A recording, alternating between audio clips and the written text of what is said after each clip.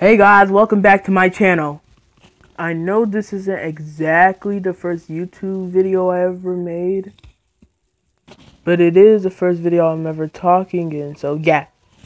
Anyway, today I'm going to be playing four movie studio themes on piano. You know, when you go to the movies and then the intro plays. So one day I was like, this will totally sound great on piano.